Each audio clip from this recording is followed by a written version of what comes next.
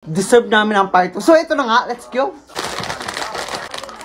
Nahin natin to parang butche.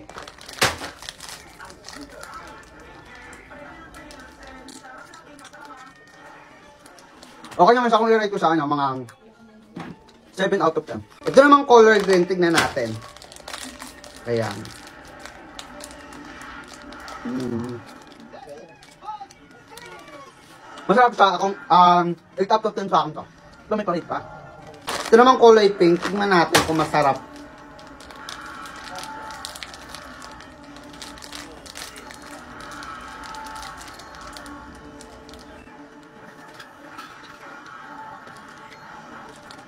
Masarap din naman, 8 out of 10 din naman to. Ganun. Kaya ikaw try mo na kung gusto mo, 70 plus lang yata bili ko something, gano'n. Ano nga, comment kayo anong next gusto nyo kainin ko. May kulay wait pala, hindi ko nakita agad. So yun, buksan din natin, tikman natin. Hirap niya buksan ah. Ayan. Hmm. Yung masarap naman siya lahat. Ayan. Sarap niya lang. Kuya ko lahat, 9 out of 10. Ginugupit ako yung sarili ko. Okay na naman ay pantay. Ibibida ko na eh. Nag-live ako sa FB. Ay na sana eh, pantay na yung gupit ko pero aksidente kong nagupit to. Ito yung clip panoorin nyo.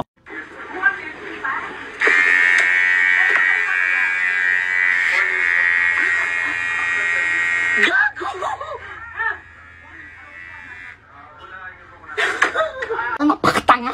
Diba? Ganito kasi yan, story time.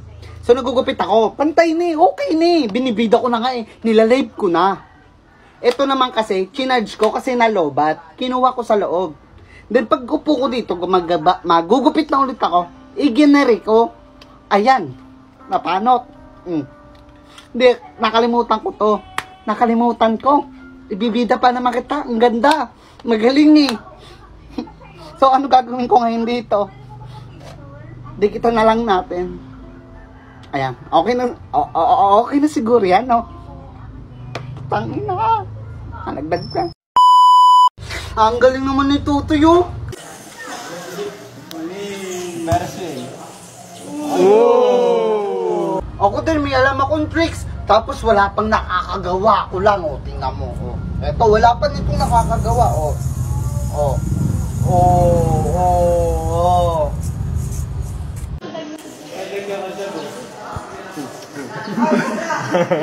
Yung ibabataw, ibabataw.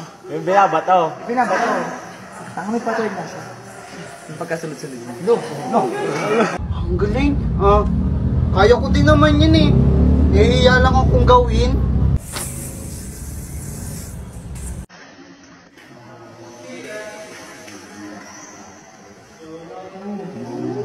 Angas mo mag-DNA. Kako, hindi ko kaya yan eh. Oh! Siguro idol mo si Kuya Maki, no? Ako, ako, ako idol ko yun, ang dami nga akong yoyo nun eh. Ay, ang galing mo talaga, Totoy. Ako, magaling ba ako? Oo. Hoy! Hey bro, kamusta? Long time no see ah.